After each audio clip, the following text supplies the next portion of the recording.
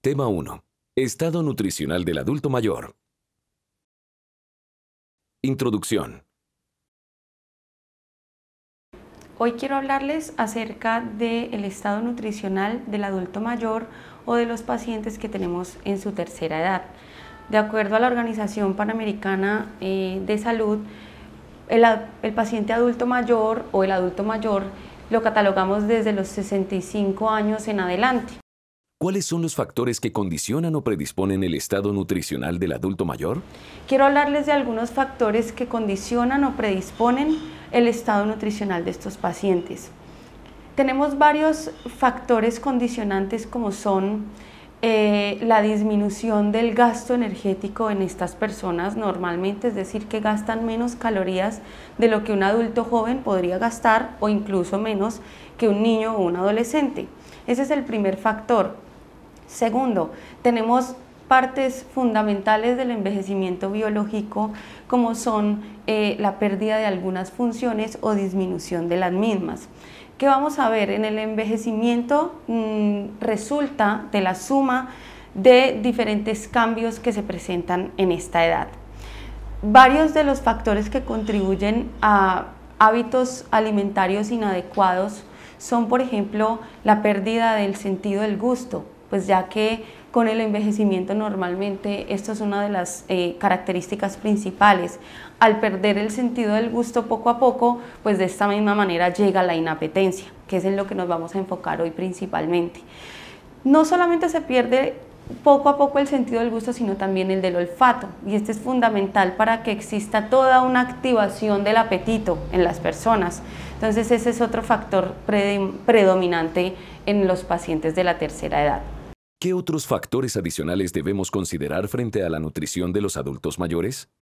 Vamos a hablar también de otros factores como son posiblemente un estado socioeconómico vulnerable, eh, muchas veces el abandono en, estos, en estas personas y eh, en algunos casos signos de depresión o soledad que contribuyen directamente a, que el paciente pierda apetito. Em, ¿Qué otras eh, situaciones podemos encontrar también? Pérdida de piezas dentales, fundamentalmente por mal eh, cuidado del caries o de tratamientos periodontales que se presentan en estos pacientes. Mm, hay otro factor importante y es que se va perdiendo la fuerza de los músculos masticatorios. Entonces, en este sentido, algunos eh, alimentos específicos como son las proteínas, por ejemplo, carne, pollo, pescado, que son de eh, tener que masticarlos eh, con mayor dificultad, por decirlo así, hace que haya un rechazo principalmente a este tipo de alimentos. Es por eso que estos pacientes por lo general empiezan a sufrir de una malnutrición de tipo proteico, es decir, que pierden más masa muscular de lo que normalmente debido a su envejecimiento ya están perdiendo. Entonces nosotros como profesionales de la salud, cuidadores, pacientes, parientes de ellos, debemos tener en cuenta diferentes em, estrategias para poder lograr que eh, de alguna manera no se presenten estados nutricionales deficientes. Ante los riesgos nutricionales de los adultos mayores, ¿cuáles son las recomendaciones? Entonces, ¿qué recomendaciones les voy a dar hoy? Normalmente nuestros pacientes de la tercera edad o los ancianos tienden a tener una preferencia hacia alimentos dulces. Eh, entonces no podemos volvernos como muy restrictivos en decir no puede comer eso, no puede comer lo otro, porque si no vamos a contribuir aún más a ese estado nutricional deficiente, sino que lo que debemos es propender porque ellos eh, consuman de alguna manera de la forma más em, aplicable a la realidad posible ese tipo de alimentos que ellos prefieren. Entonces, ¿cómo lo vamos a hacer? Hay una de las características principales y es que se pierde la capacidad de salivación, entonces ya hay una serostomía que es una resequedad bucal, principalmente sequedad en la boca. Y hay una táctica nutricional muy, muy efectiva que es darles paleticas de agua helados frescos para estimular la salivación. Al, al, estimular la salivación, ellos empiezan a adquirir, digamos, una mayor capacidad de eh, estimular el apetito. Entonces, eso es una técnica que es además muy agradable para ellos porque son más amantes del dulce que a cualquier otro alimento salado. Esa es una. Otra es eh, aumentar la densidad calórica de los alimentos que ellos están consumiendo.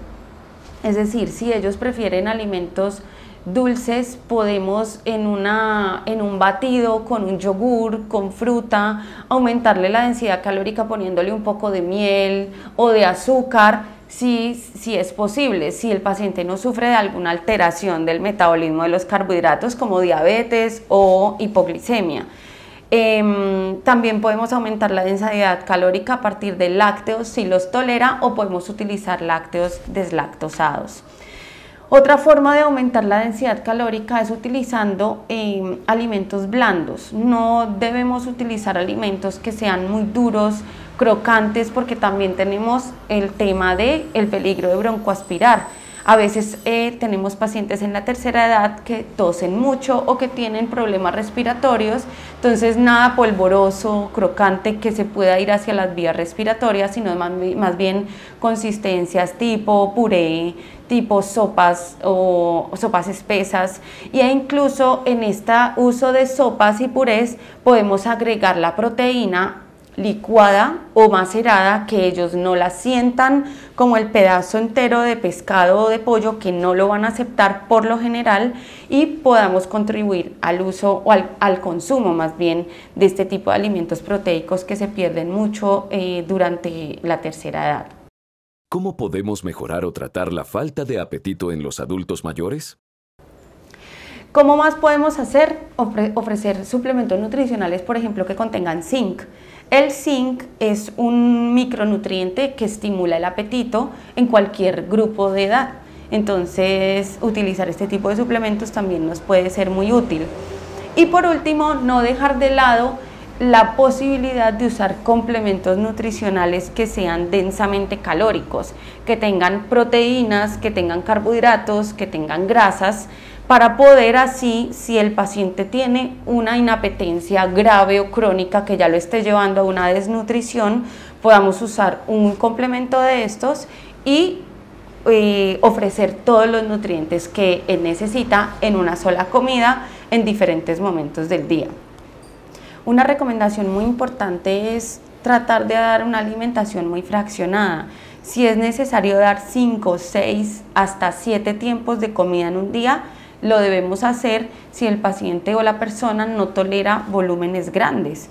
Entonces, eh, de esa manera, al no tolerar volúmenes grandes, podemos dar volúmenes de alimentos pequeños con más calorías usando aceites vegetales, como les comentaba ahora, o mieles, azúcares, si es posible en el paciente o en la persona, y dar mayor cantidad de veces los alimentos en lugar de tratar de que consuma todo un volumen muy grande en un solo tiempo de comida porque por lo general no lo vamos a lograr.